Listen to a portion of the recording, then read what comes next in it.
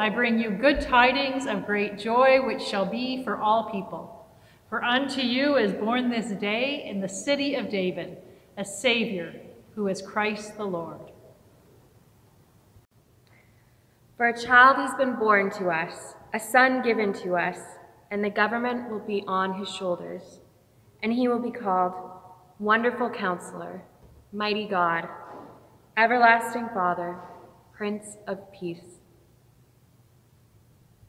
So come, with the wise men and the shepherds, let us come and go to Bethlehem. Come, let us adore him.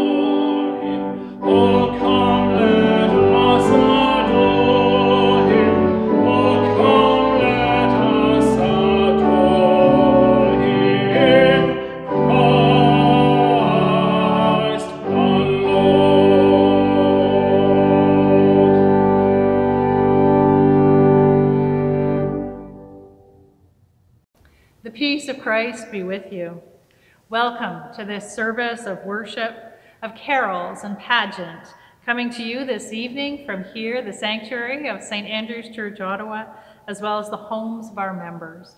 From all of us to all of you, Merry Christmas. Come, let us worship. Please pray with me. Wonderful Counselor, mighty God, we come together tonight from our homes set with the twinkling glow of the Christmas tree lights, opening our hearts to receive once more the gift of the Christ child, born for us this day.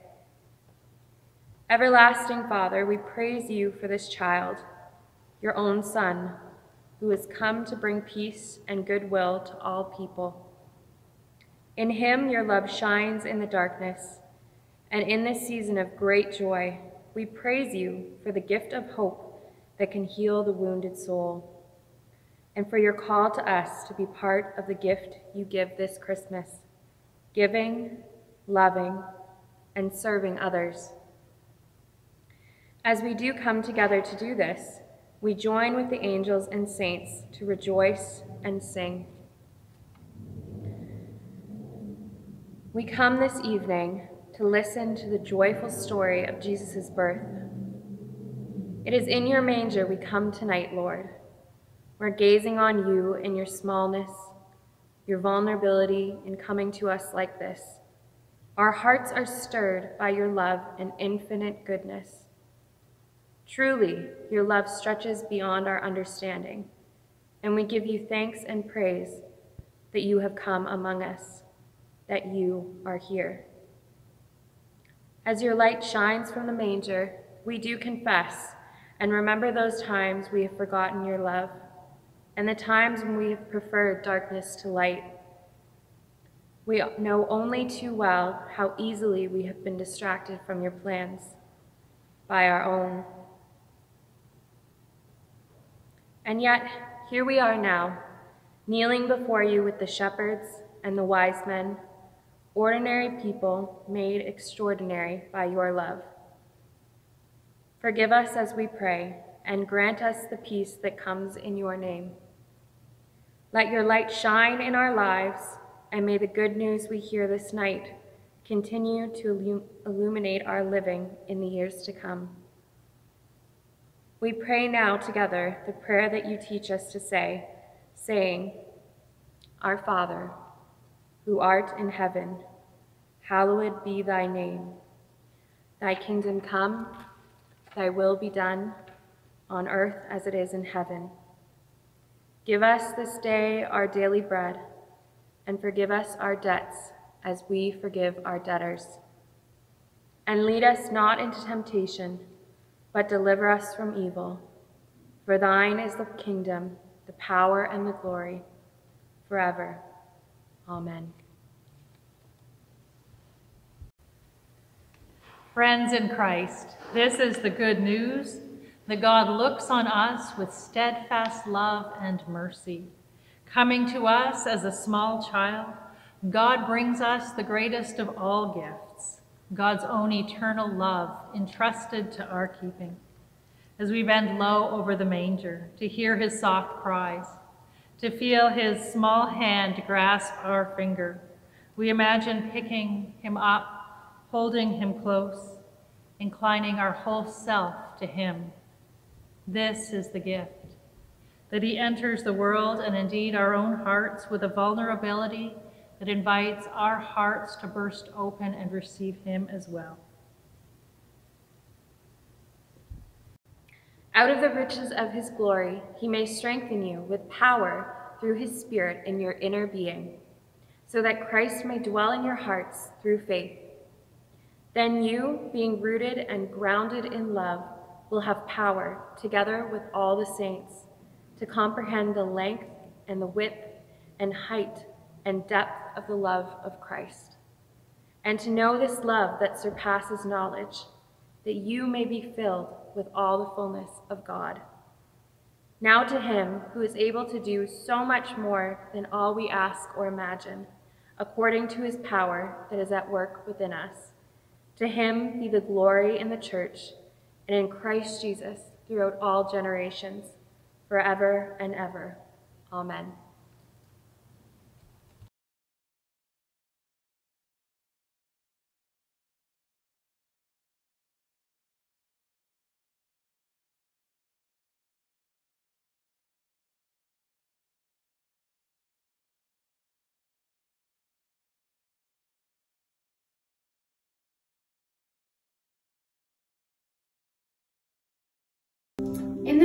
There was nothing, no up or down, no near or far, no yesterday or tomorrow, only God, here and now.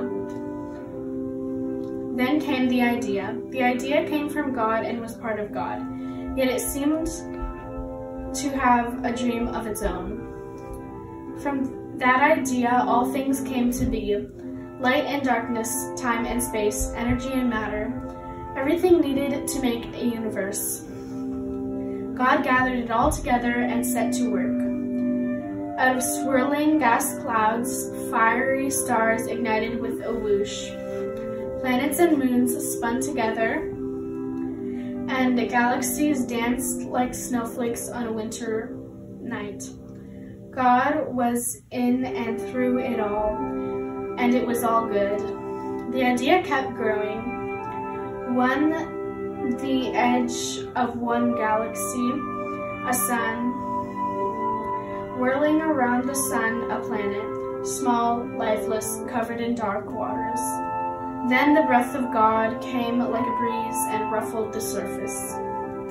Something wonderful happened, deep in the seas where there was life, simple at first, but then more complex. New forms of life came. They filled the seas, they walked on the land, they flew in the air, flowers bloomed and insects buzzed. The little world teemed with life and color, scent and sound. Then God made another kind creature. This one was a bit different from the others. It could love, laugh, delight in beauty, think, imagine, wonder, choose, maybe even have ideas of its own. It was a risk.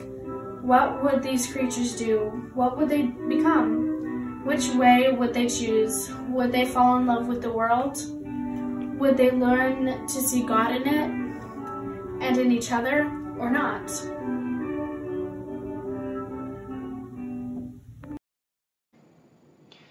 The idea kept moving. It fluttered around the world, creating, inspiring, enlightening, awakening. It was in every place and time. But in one place and in one time, it came to rest.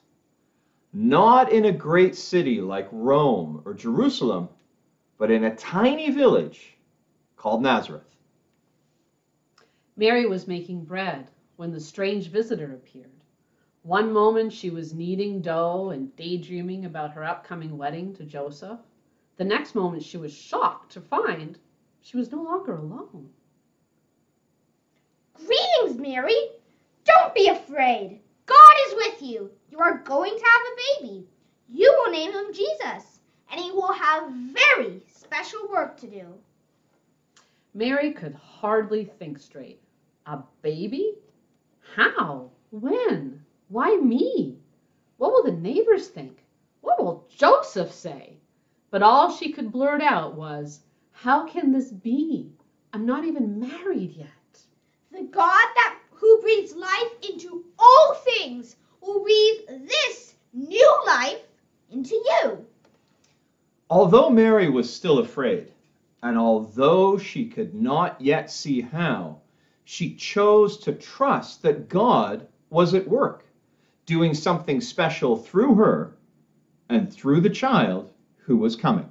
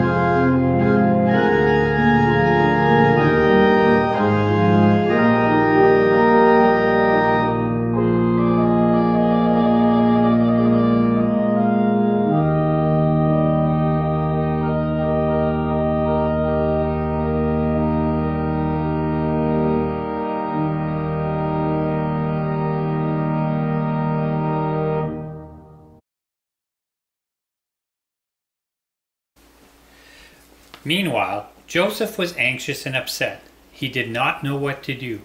He wanted to trust Mary, but her story was so far fetched. A mysterious visitor? A baby before the wedding? Imagine the gossip! But what if he refused to marry her? What would happen to Mary then? One night, after tossing and turning for hours, he dreamed that a messenger from God came to him.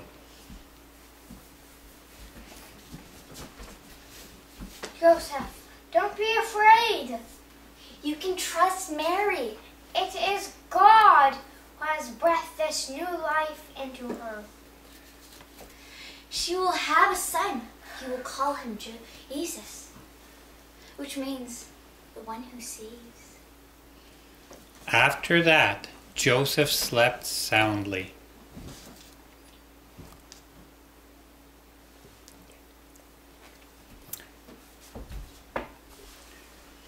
When Joseph got up in the morning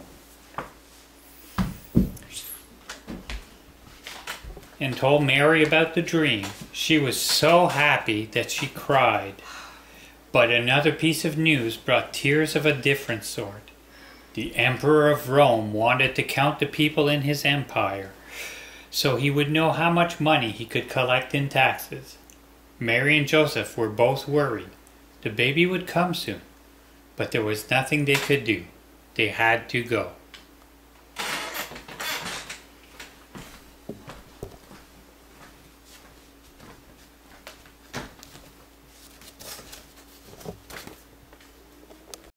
Late one night, after a long journey on foot and by donkey, Mary and Joseph reached Bethlehem. Bethlehem means house of bread, but they had neither. Hungry and tired, they searched for a place to stay, but only found a cave where animals were kept. Mary was scared. This was not what she had expected. She imagined that her baby would be born at home with family around him, but home was far away. Joseph was scared too. He had no idea how to help Mary. When some women showed up with a lamp and water and clean clothes, they had heard there was a baby on the way. Joseph nearly cried with relief. After many hours, the baby was born. Mary cuddled him and rested. Then shepherds came, breathless from running, words stumbling out of their mouths. Good news! The sky is alight with angels singing a Savior.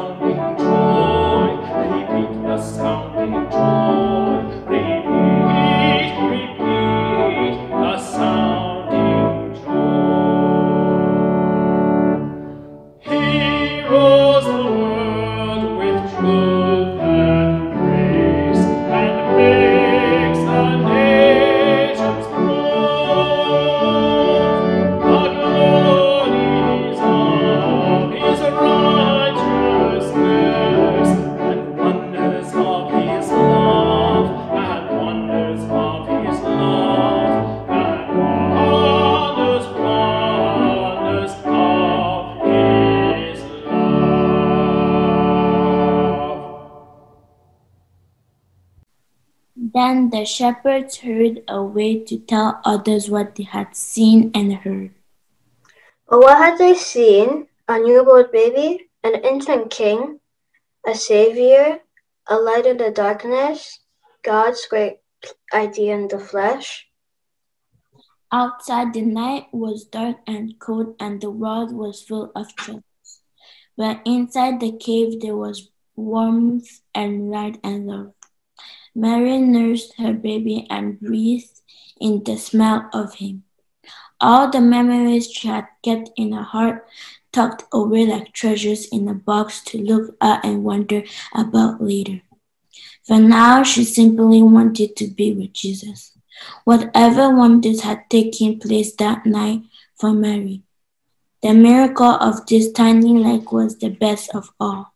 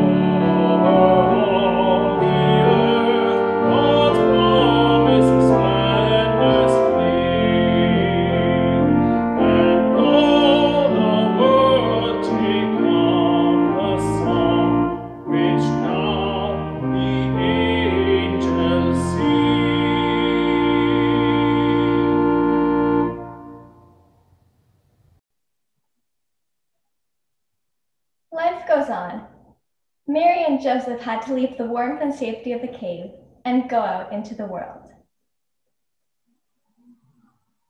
As custom demanded, they brought Jesus to the temple in Jerusalem because they wanted to say thank you to God for the gift of their child. To their surprise, someone was waiting for them. Simeon and Anna had been waiting for a long time, watching eagerly for the one God had promised to send. When Simeon saw Mary and Joseph with Jesus, somehow he knew, and his heart fluttered. He came close and held out his arms for the child. Now I can die in peace. God, you have kept your promise. With my own eyes, I have seen your salvation, your light which shall shine on all people. Mary did not understand, but the words sounded beautiful. But then Simeon added, Some will not welcome this child. When he grows up, many will speak against him. This will break your heart. Mary shivered. A shadow had fallen over her. How could anyone not love her beautiful child?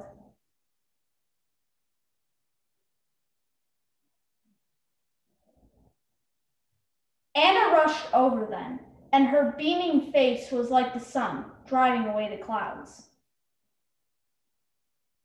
What did Anna say to Mary? Who knows? Maybe she urged her not to worry about the pre- about the future, but to enjoy the present moment. Maybe she told her that life is a messy mixture of joy and sadness, beginnings and endings, but God is there through all of it. God is in all things for those who know how to look.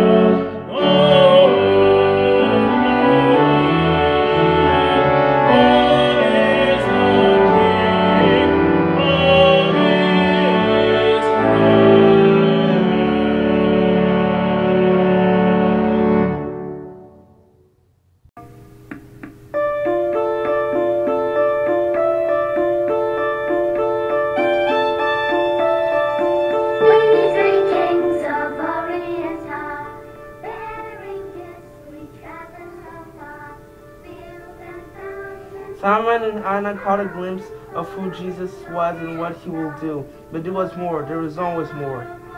Far from Jerusalem, high in the eastern mountains of Persia, strangers were watching the skies. One night they saw a new star. At least it looked like a star, a star but it did not like act like one. Instead of staying in one place, it went its own way, wandering like a planet. It was not on any of their star cards. What is it, they wondered. What does it mean? A star like that must tell something important. Like the birth of some great person, they decided to follow it.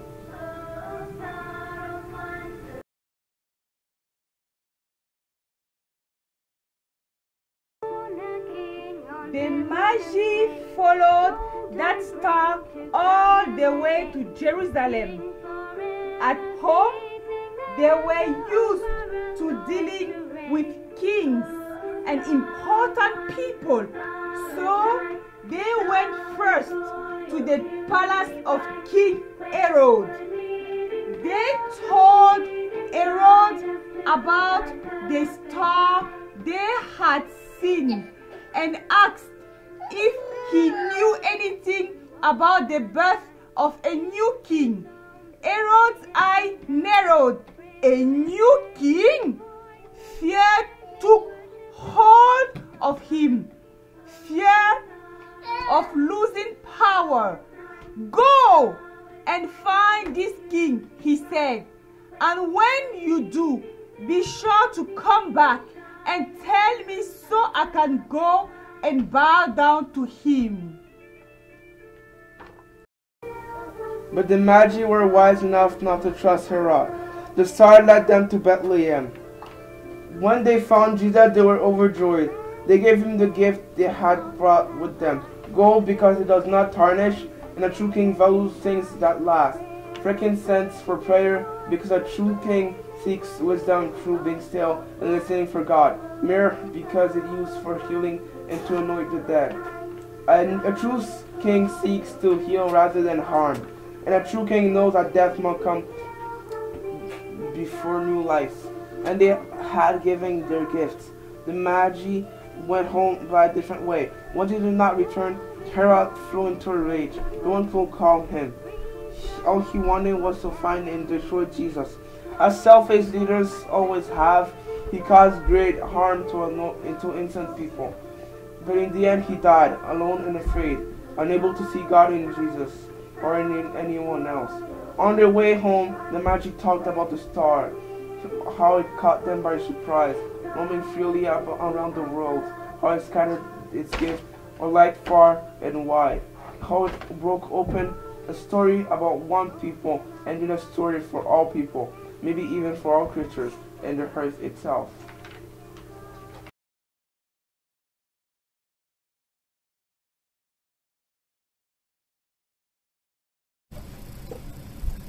And so we return to the beginning. The idea that came from God was part of God, yet had a life of its own. Over the years, this idea took many shapes. It became a universe, a world, creatures infinite and wonderful, people in all their variety, a child called Jesus.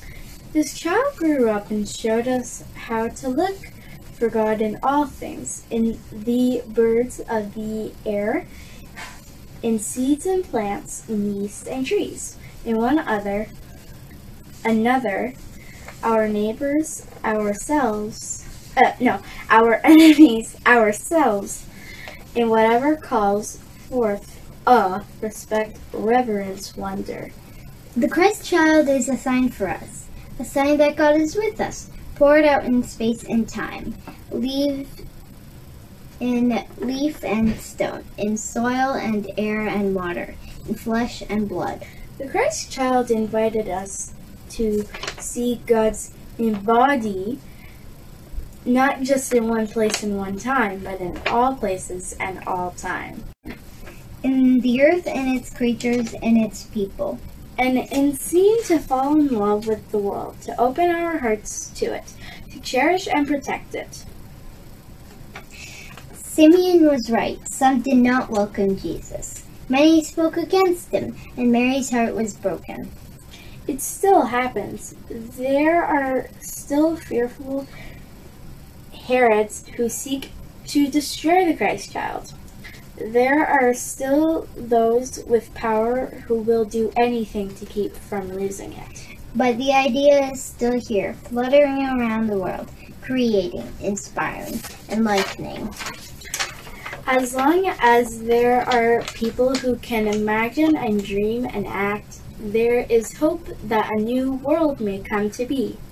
So come, share your light, bring your stars, become who you're you're meant to be, beloved child of God, part of the wonderful unfurling of God's great idea.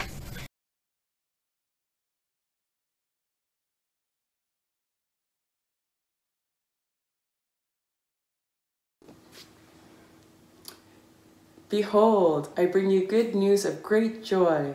For unto you is born in the city of David a Savior, who is Christ the Lord. Jesus, has arrived in grace and mystery, renewing faded hopes, announcing peace to a weary world.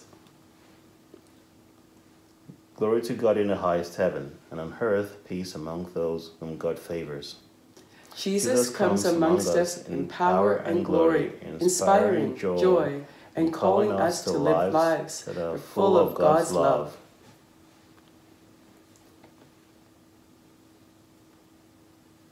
Jesus, the light of the world, is born.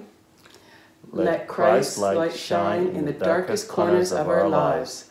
Let Christ's light shine in the darkest corners of our world. God is with us.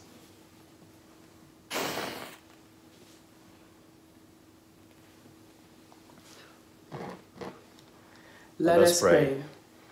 God of grace and glory, as we celebrate this Christmas, transform our hearts and our lives so that your good news is not an old story, but a fresh truth lived out every day through the power of Jesus Christ. Amen.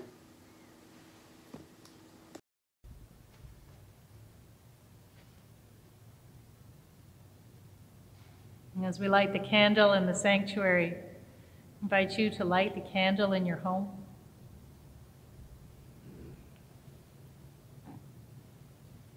And as we enjoy the light it offers, Carolyn is going to lead us in our closing prayer. How great is God's love that we should be called children of God. As we enjoy the light of the Christ candle, please pray with me. As you get ready to do that, you can reach your hands up high, touch your nose, touch your toes, give your hands a clap, and put them in your lap as we close our eyes and talk to God. Thank you, God, for the precious gift of your Son, Jesus. Tonight we have come to the manger once more to remember the birth of our Savior. To pray that the light in him will bring forth your light in us, so that we could in what we do might be part of your great idea, part of your plan for salvation, bringing the gifts of hope, peace, joy, and love into this world. Our prayers this night are for this world that you love so much that you came to dwell with us, Jesus. We pray for those like Mary and Joseph, all who wandered the roads and highways of this world seeking a place to call home for themselves and for those they love. We remember before you people who are hungry and hurting, bringing them to safety and bless them with welcome this night. Show them your love. We pray for those like the shepherds who are charged with caring for others. We remember essential care workers and those who look after people who are sick and unwell. Encourage them and let your light shine upon them, bringing to them the gifts of peace they offer others. As we remember the Magi, travelers from afar, we remember the nations of the world. We pray for our leaders here in our city and province and country, and, and all those whose decisions and affect the lives of others. Give them wisdom and place your vision on their hearts. God, on this night, as we remember the birth of your Son, we rejoice in your love for us and remember before you those who we love and who love us. We pray for those who are far away and who are apart from this year, but who we can hold close in our hearts. We remember those who have died this year. Tell them we miss them and love them and remember them until we are together once more. In silence now, we offer our own prayers.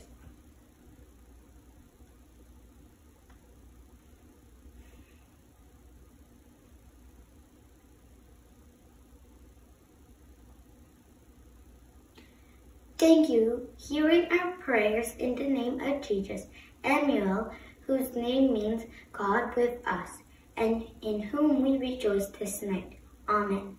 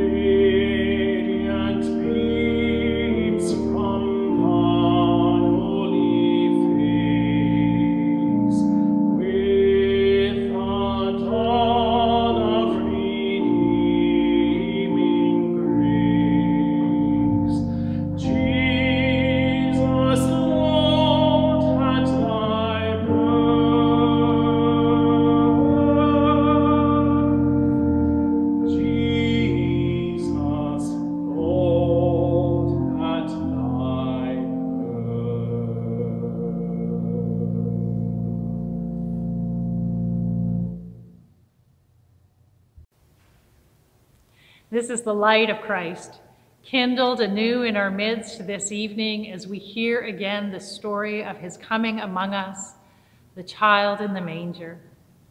Take this light with you as you go, and as you do, may the wonder of Mary, the obedience of Joseph, the gladness of the shepherds, the worship of the wise men, the peace of the Christ child be yours now and forever. Amen. And a Merry Christmas to you all.